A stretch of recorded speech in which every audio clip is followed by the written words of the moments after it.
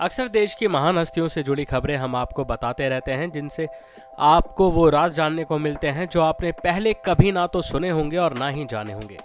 अब खबर है कि गूगल के एक अधिकारी और अमेरिका के प्रेसिडेंट ट्रंप को लेकर। इसमें कहा जा रहा है कि अमेरिका की एक वेबसाइट के अनुसार एक लीक वीडियो पोस्ट किया है, जिसमें दिख रहा है कि गूगल के वरिष्ठ अधिकारी डोनाल्ड ट्रंप के प्रेसिडेंट चुने जाने को लेकर खासा परेशान थे। यह वीडियो डोनाल्ड ट्रंप के नवंबर 2016 में राष्ट्रपति बनने के दौरान का है।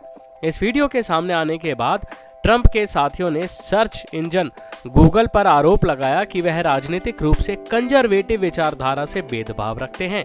इतना ही नहीं, इस वीडियो में गूगल को फाउंडर सग्रेई ब्रिन यह कहते हैं कि एक प्रवासी और शरणार्थी के रूप में मैं इस चुनाव को काफ़ी परेशानी भरा पाता हूँ। मुझे लगता है कि आप लोग भी ऐसा ही महसूस करते होंगे।